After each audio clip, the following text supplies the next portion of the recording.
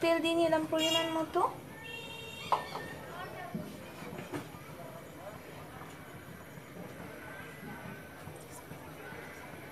তারপর তেজপাতা দিলাম।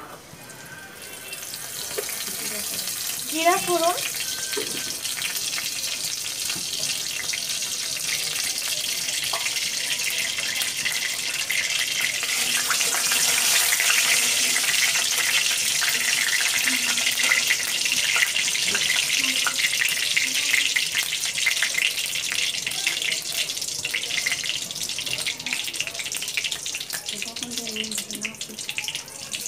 যাতে তেলটা না থেকে একটু হালকা লবণ দিলাম।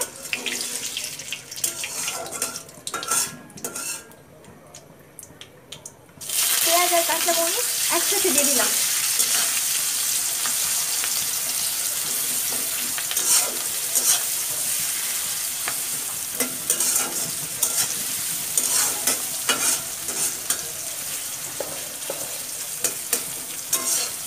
একটু হালকা ভাজা ভাজা করতে হবে।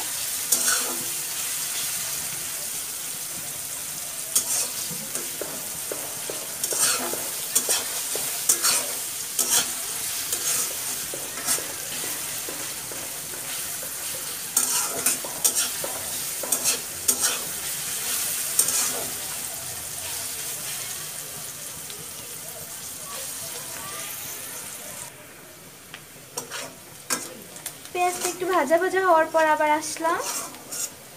এখন মাংসগুলো দিয়ে দিব। এটা রান্না করার জন্য যে মুরগির হাড়, পা, গলা, এগুলাই বেশি ব্যবহার করা হয়। এগুলো দিলেই ভালো লাগে। বেশি হাড় হাড় থাকবে।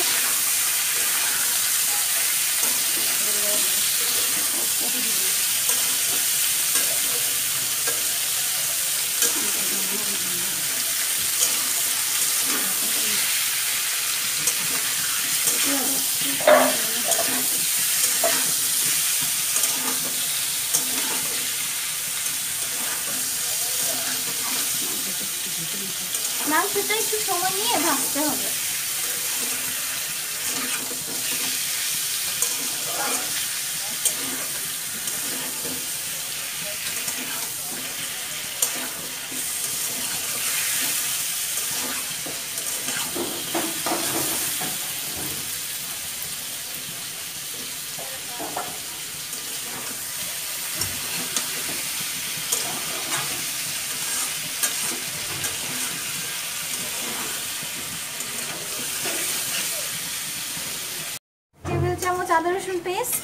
দিলাম।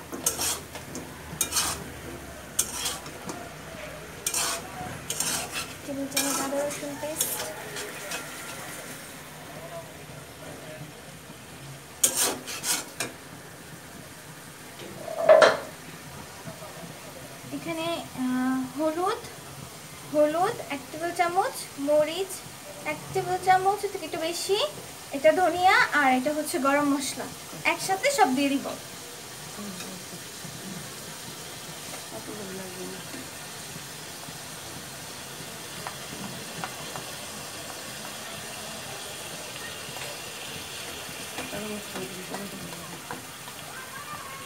দিয়ে দিলাম।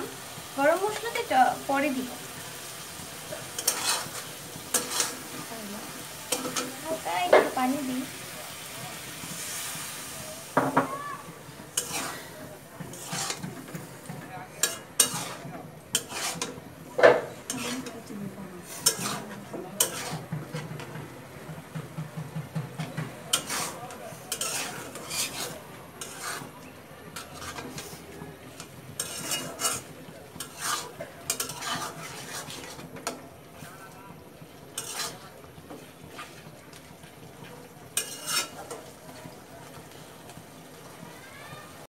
মশলাটা ভালোভাবে কষিয়ে নিতে হবে।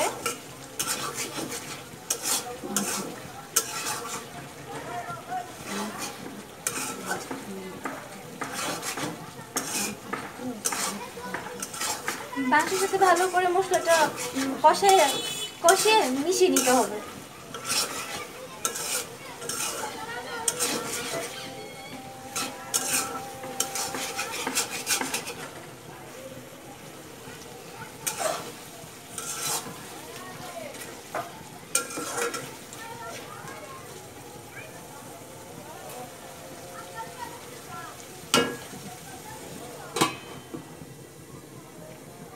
পাঁচ মিনিটের জন্য একটু ঢেকে দিলাম মশলাটা।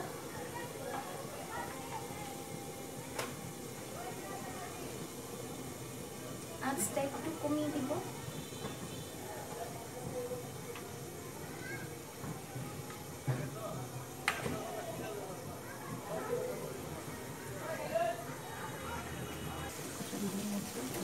ঢাকনাটা খুলে কষানোটা হয়ে গেছে কিনা সেটা একটু চেক করব। হয়ে গেছে কষানো এটা এখন যে বুটের ডাল দিয়ে মাংস রান্না করার জন্য প্রথমে বুটটাকে একটু সিদ্ধ করে লবণ দিয়ে লবণ দিয়ে সিদ্ধ করে পানিটা ফেলে নিয়েছিলাম। এখন এটা দিয়ে দিব। ডালটা দিয়ে দিব মাংসের মধ্যে।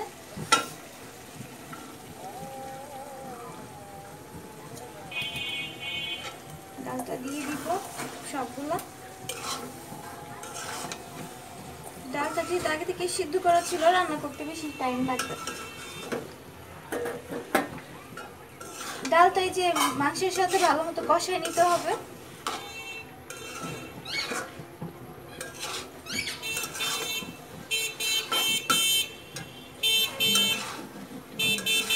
চুলার আঁচটা একটু মিডিয়াম থাকলেই হবে। নাহলে আবার পুড়ে যাবে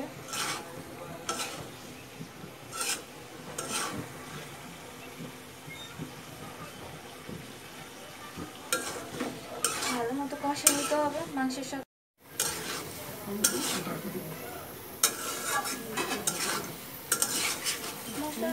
কষানো হয়ে গেছে। এখন পানি দিয়ে ঢাকা দিব। পাঁচ ছয় মিনিটের জন্য। একটু সিদ্ধ করার জন্য। একটু সিদ্ধ যেহেতু আছে, তারপরও আর একটু করার জন্য ঢাকা দিব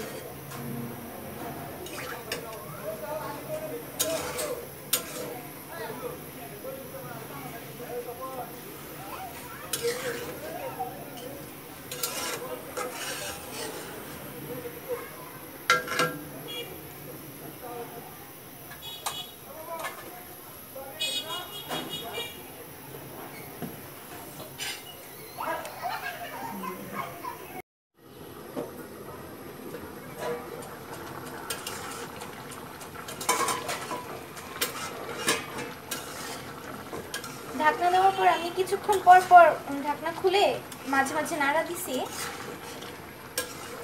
পানিটা শুকায় গেছে কিছুটা, এখন বাকি মশলাগুলো দিয়ে দিব।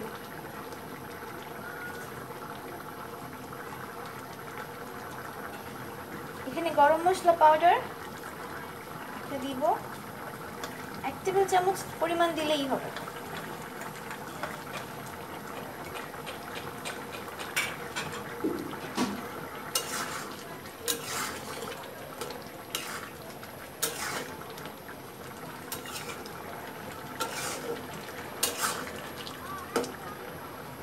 মাংস আর ডাল সব সিদ্ধ হয়ে গেছে।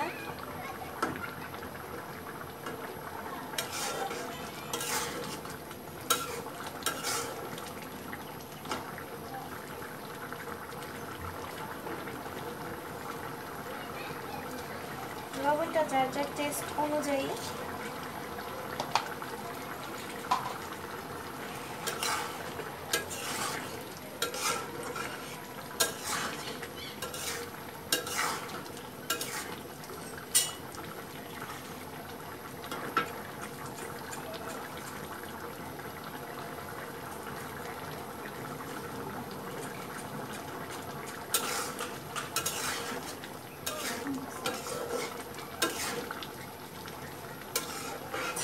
বুটের ডাল দিয়ে মুরগির মাংস রান্না করা রেডি হয়ে গেছে। এখন আমরা পরিবেশন করে দেখব কেমন লাগে দেখতে।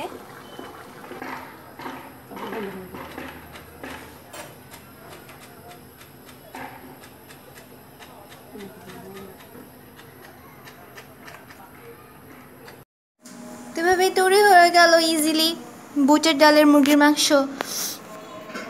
যারা কখনো ট্রাই করেন নাই, তারা ট্রাই করে কমেন্ট বক্সে জানাবেন কেমন হলো। খুব সহজ একটা রেসিপি ট্রাই করবেন সবাই।